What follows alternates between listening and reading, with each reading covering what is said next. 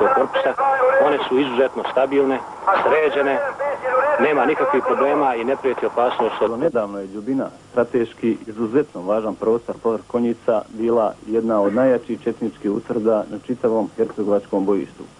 Sa ovog mjesta četnici su tokom ovih ratnih godina držali u kopci šire područje konjica, ubijali, razarali i konstantno prijetali da upravo s ovog područja učine odlučujući koraka rijeci Neretvi, čime bi se projekat Velike Srbije počeo uobličavati, a to je za njihove umobolne vođe vjekovni san. Taj san mislili su pretočiti u stvarnost 11. septembra ove godine, ali su i pripadnici četvrtog korpusa spriječili u tome. Praveći planove za kontraofazivu, komanda četvrtog korpusa na čelu sa brigadnim generalom Ramizom Drekovićem nije se nimalo dvomila. Najteži zadatak povjerila je četvrtoj muslimatskoj brigadi koja je trebala da ovlada ovim prostorima. Proslavljeni komadant ove jedinice, Nezvijem Efendija Halilović Muderis, zajedno sa svojim muđahidima, taj zadatak je u potpunosti ispunio, jer su se 13. septembra Ljiljani zavijorili na mjestu gdje je do tada stajala agresorska zastava. Uh, jesi li ti riješio Sogora? Jel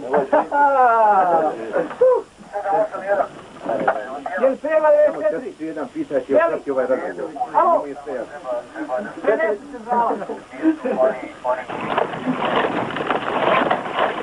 Da bi se popeli na ljubinu pripadnici četvrte muslimanske brigade koji su ratna zdanja sticali u borbama širom Bosne i Hercegovine, morali su dan ranije osvojiti gluhi dol i rapte kako se ne bi desilo da četnici na ljubini dobiju pojačanje.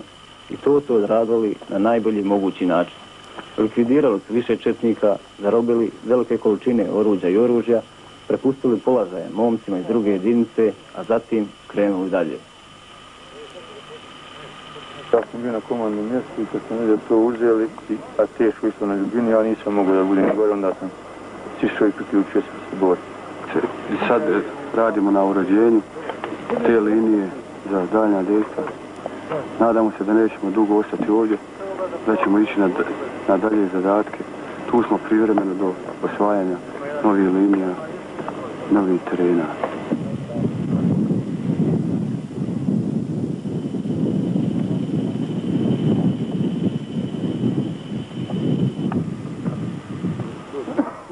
Ja kažem, nismo mi to uradili, opet nismo uradili e, što se tiče vojske vojničkih, što, što je to, što smo toliko jaki, e, nego se uradilo što je bila Božja pomoć tu.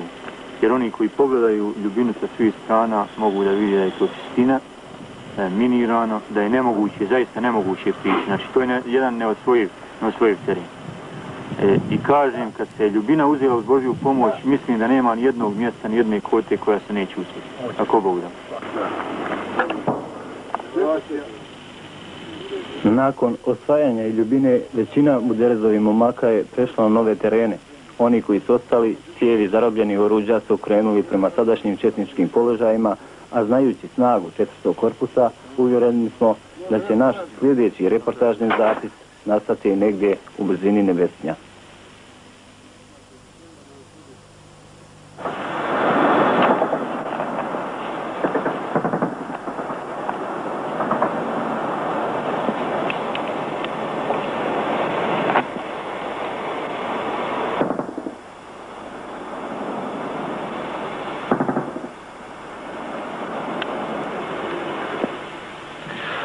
Snage četvrtog korpusa armije Republike Bosne i Hercegovine uspjele su tokom proteklih dana slomiti dugo najavljivanu četničku ofanzivu na zonu odgovornosti ovoga korpusa, a zatim u nezadrživom kontraudaru da Karadžićeve četnike u Hercegovini potuku do nogu.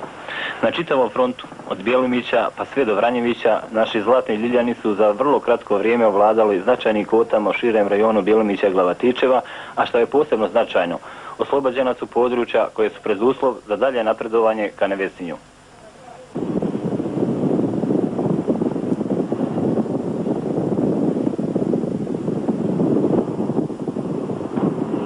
Jedno od takvih mjesta je selo Bijela kod Konjica u podnežu Prenja, koje je do 14. septembra 1994. godine bilo jedno od najjačih četničkih utvrda na širokom konjičkom bojištu. Gospodine Majore, kakva je trenutna situacija ovdje oko Bijele i Pa ovako, mi smo bili svjedoci proteklih dana jedne žestoke ofanzive srpsko-crnogorske vojske na grad Konjic i okolna mjesta. Jedinice 4. korpusa armije Republike Bosne i Hercegovine uspješno su zaustavile tu ofanzivu i organizovano krenule u protiv udar.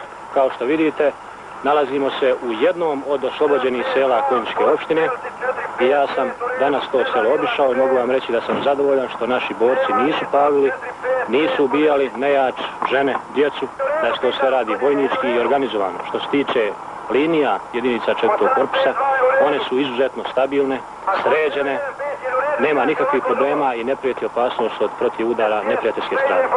U, u ovih proteklih dana sami ste rekli da su pripadnici četvrtog korpusa imali više uspjeha, imali uspjeha i na više pravaca.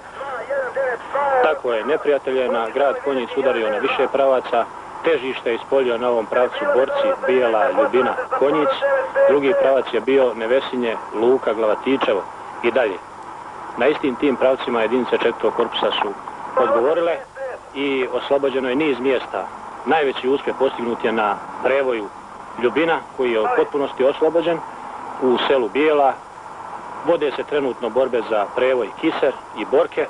Također na ovom pravcu Glavatičeva oslobođeno je više mjesta između kojih je najvažnija Lađanica i okolne dominantne kote oko Glavatičeva, tako da se i Glavatičevo dolazi, nalazi pred momentom oslobađanja. E, zarobljene, i vel, zarobljene su velike količine MTS-a, a i likvidirane velike broje četnika.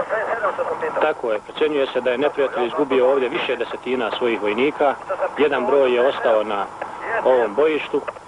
Međutim, i materijalno-tehnička sredstva su veoma važan faktor. Zarobljeno je više artiljerijskih oruđa, nebrojeno streljačkog naoružanja, velike količine municije, tako da su naše jedinice faktički došle u situaciju da im ne treba skidati embargo, nego se oslobađujući teritoriju, sadijaju i u pozadinskom smislu.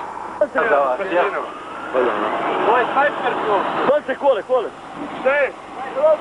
Jes, hajde. Hajde, hajde.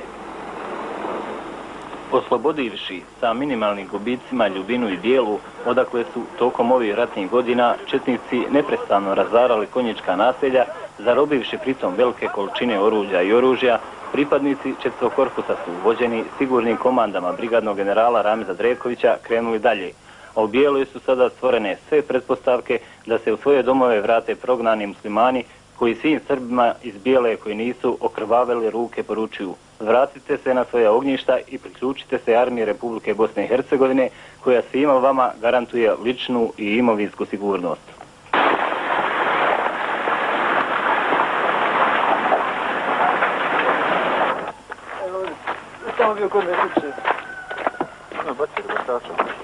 Zajedno sa pripadnicima armije Republike Bosne i Hercegovine u Bijelu su ušli pripadnici MUPA, koji su sa vojnim policajcima detaljno prestražili teren, a zaduženi su pored ostalog da svaki pronađeni metak dođe u logističku bazu četvrtog korpusa. Iz razgovora sa komandantom vojne policije četvrtog korpusa, majorom Nusretom Šahićem, saznajemo da je dobar dio tih poslova već odrađen. Što je najvažnije, blokirano su svi putevi, postavljene straže, uvedene patrole, tako da je svako iznenađenje isključeno, a eventualno otuđivanje imovine svedeno je na minimum.